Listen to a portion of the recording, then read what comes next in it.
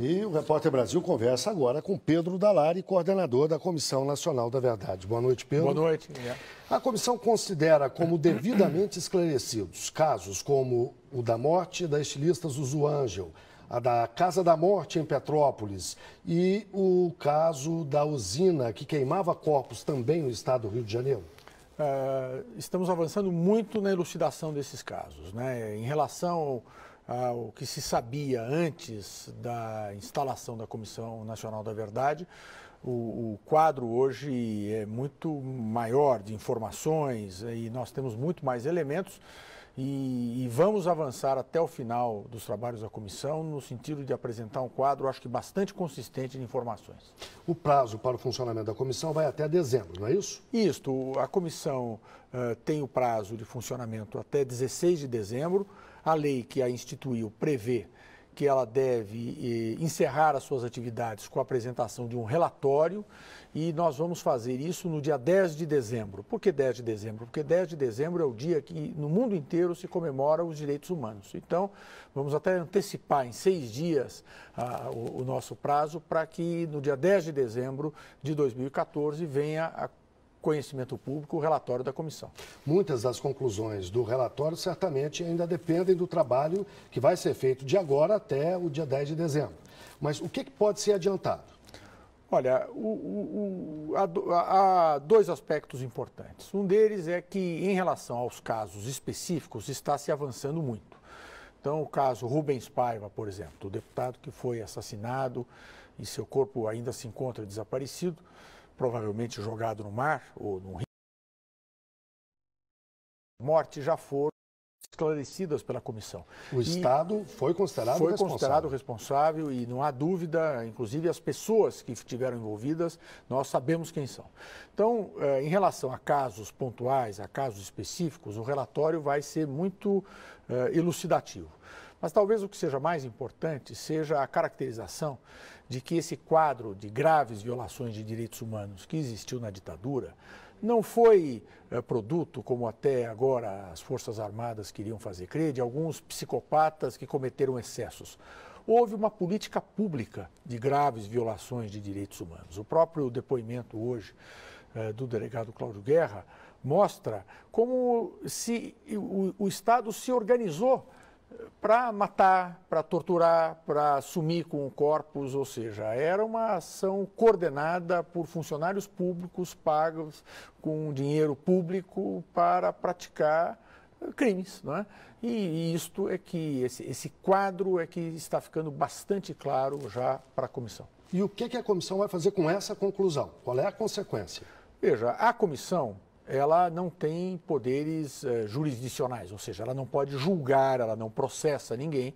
Ela tem como finalidade apurar fatos, né? A finalidade é esta. Agora, é claro que a partir eh, do momento em que o relatório apresenta um quadro muito consistente de como é que se deu essa, esse conjunto de violações eh, de direitos humanos, disso resultarão consequências. Do ponto de vista da responsabilização daqueles que cometeram esses crimes, o Ministério Público já vem tomando providências e certamente vai se intensificar isso após o relatório.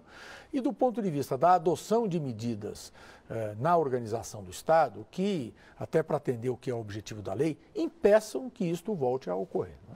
Agora, do ponto de vista da responsabilização de eventuais culpados, até onde pode-se ir? Afinal, eh, as pessoas que eh, praticaram esses crimes ou estiveram ou foram aliadas do regime naquela época argumentam que a lei da anistia sepultou o assunto.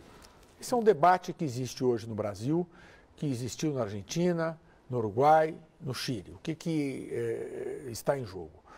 Nesses países, ainda quando se estava sob regime militar, houve a aprovação de legislação de anistia numa espécie de ação preventiva uhum. daqueles que ainda no poder procuraram se acautelar uh, contra possíveis ações criminais.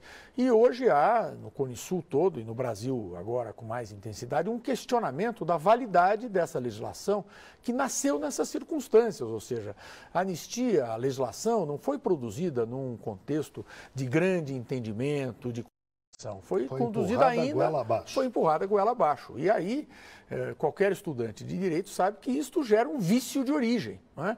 E isto é que está fazendo com que tenha sido reaberta no Brasil a discussão sobre a validade da lei de anistia.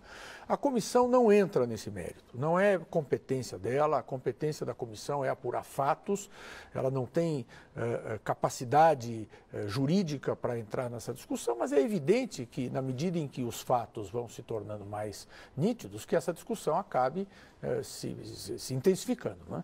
Agora, como é que a comissão se relaciona neste momento com as Forças Armadas?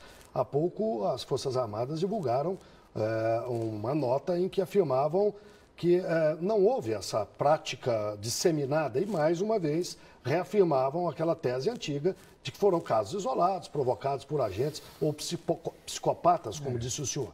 Qual é o relacionamento, qual é uh, o nível de entendimento que se consegue e de colaboração, principalmente, das Forças Armadas? Veja, a comissão tem procurado manter um relacionamento institucional Uh, respeitoso e, e, e, consistente com as Forças Armadas. A Comissão Nacional da Verdade não é uma ONG, não é uma organização não governamental. Ela é um órgão de Estado e, portanto, não tem sentido, como órgão de Estado, ela não se relacionar com uh, as Forças Armadas ou com qualquer outro órgão de Estado. Temos conseguido algumas coisas importantes. Por exemplo, a medida das Forças Armadas de instaurar comissões de sindicância, nosso pedido para apurar graves violações de direitos humanos e as circunstâncias que ocorreram em instalações militares foi um gesto importante e a comissão reconhece isso.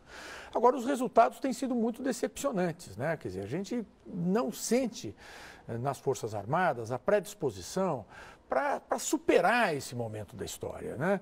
Ou seja, eh, é evidente que houve tortura no Brasil, é evidente que as Forças Armadas, contra inclusive o que é a sua tradição histórica, porque historicamente as Forças Armadas não foram uh, protagonistas de tortura no Brasil. Isso ocorreu no período da ditadura militar. E, contrariamente a essa evidência que é pública e notória, recentemente, inclusive, documentos fornecidos pelo governo norte-americano comprovaram que se torturava no Brasil na década de 70. Para nossa surpresa, as Forças Armadas insistem em manter a versão de que não houve desvio de finalidade em instalações públicas, porque elas não foram utilizadas para fins ilícitos, não foram utilizadas para tortura. Nós perseveraremos na perspectiva de que essa, esse quadro evolua. Né? Uh, embora as Forças Armadas e o Exército sejam uh, contínuos, é evidente que hoje há uma jovem eh, geração de oficiais que não tem relação com esses fatos do passado e não é razoável que eles fiquem com essa herança eh, maldita que é a tortura, que é esse quadro de graves violações de direitos humanos e nós temos a expectativa que haja uma evolução nessa posição.